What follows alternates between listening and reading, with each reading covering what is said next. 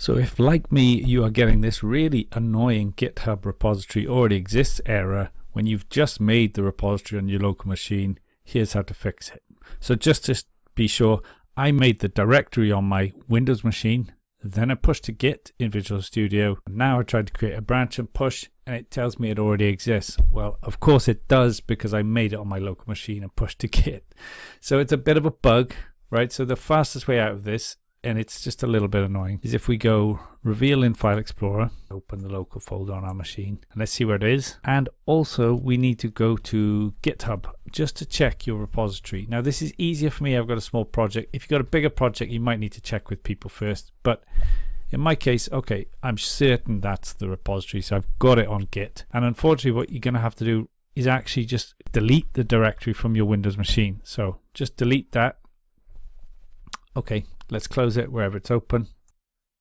Okay, I finally found it. I had a terminal open in the background that was at that directory, and that counts as being open. So that's gone now. So I've just got the remote branch, and then let's come back into Visual Studio Code, and instead of opening a folder, let's pull it down from Git. Okay, and let's do a clone. Clone from GitHub remote sources and then type the name.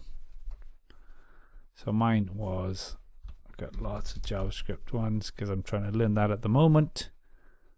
Uh, maybe I put Net Ninja. Good to take a note of the name, by the way, before you do this. Yep. Why will it only, why won't it just show mine?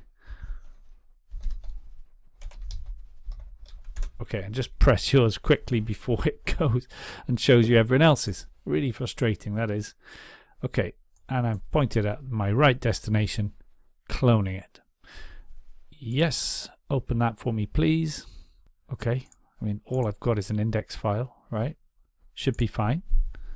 Let's have a look at the Git tab. Okay, so by default, as you'd expect, it opens from main. Let's just be explicit about this then. Create new branch from main.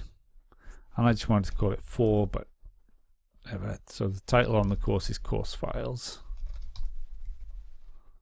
And I'm just really bad naming but and let's press enter. Now let's test publishing that branch. And this is where I got the error last time. And it has worked. Okay so simply removing the directory from your local machine and cloning it back down from git should do that. It's a really strange quirk or bug that people say on Stack Overflow. They call it a bug on there as well. So there you go. I hope you found that useful. Check out this video for more on the screen now. I'll see you over there. Thanks.